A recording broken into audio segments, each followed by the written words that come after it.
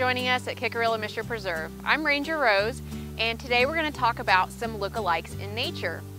One of the most useful lookalikes that we're going to talk about is how to identify poison ivy from things that are not poison ivy. Now, it's important to remember that you should still always stay on the trail because it's safest not to come into contact with poison ivy if you never come across its path. But it is still a useful skill to have.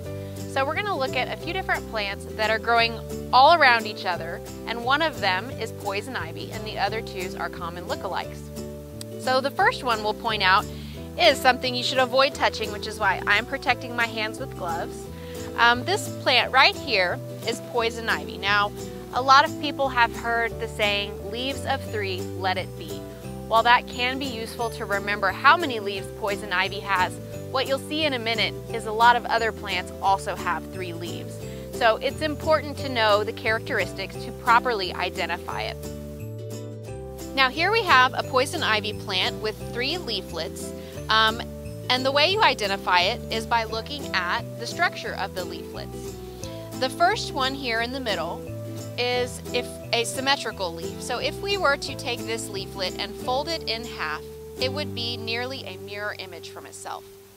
The other two leaflets on the side are not symmetrical leaves. If we were to take this leaf and fold it in half, it would not be symmetrical in any way. I also like to remember the outside two leaves kind of look like somebody has on mittens.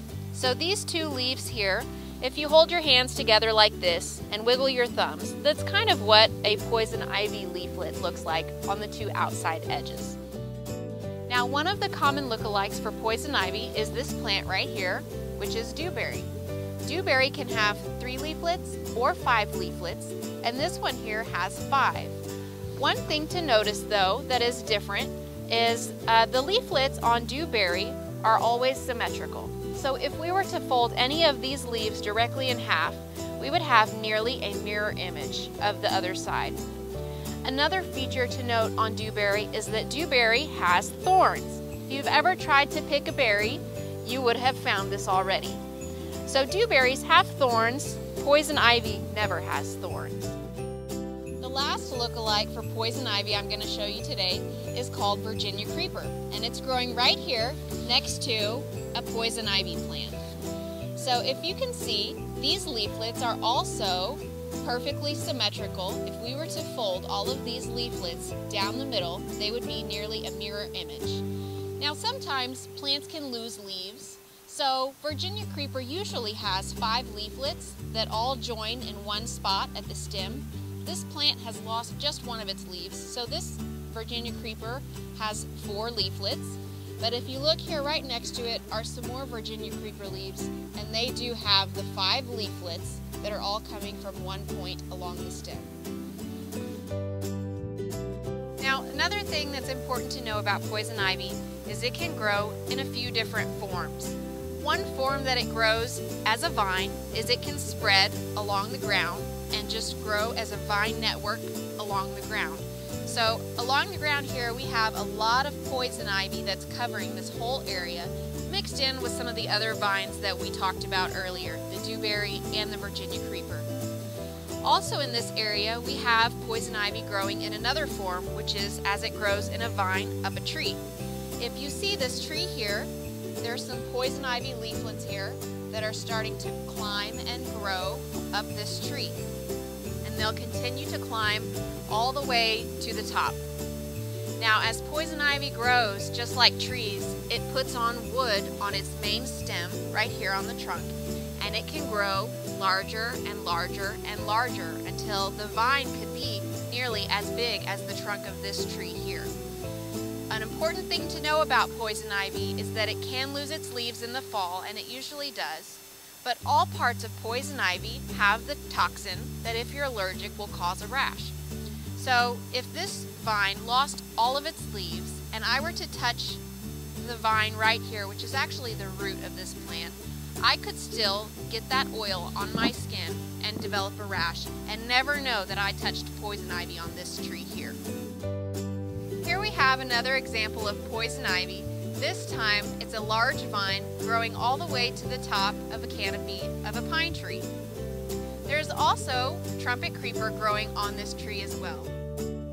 So let's take a closer look at some of the vines growing on this tree. If we look here, you can see two different types of vines. This vine right here is a poison ivy vine. Another saying that people use to help remember what poison ivy can look like is if it's hairy, it's scary. That illustrated here with all of these different um, fibers that are growing off of this root here. All of these different fibers are actually teeny tiny root hairs from the vine, which is a root growing up the tree. So if I were to touch this vine with my bare hand, I would definitely get a rash. Now let's look at another vine growing next to it. This vine right here is a little bit more fibrous than the poison ivy vine, and you can see it looks like it could be flaked off by pulling it. This vine is not poison ivy. This is the vine from the trumpet creeper growing at the top of the tree as well. So you can have more than one vine growing on the same tree. And a good rule of thumb is, if you don't know what it is, just don't touch it. Let's take a look at poison ivy growing in a different form. Sometimes poison ivy can grow large enough and long enough that it can lose the characteristic thumbs that we talked about before. So if you look at this leaflet here, you'll notice that it has lost those thumbs, but if we were to take these two outside leaflets and fold them in half, they still would be non-symmetrical. The center leaf would still be mostly symmetrical. Now, keep in mind that every part of the poison ivy plant has the chemical toxin. So if I were to touch this bare branch with my bare skin, I would definitely get a rash. So keep that in mind in the wintertime as poison ivy has lost its leaves If you brush up against some branches overhanging the trail, if it's poison ivy, you can still get a rash.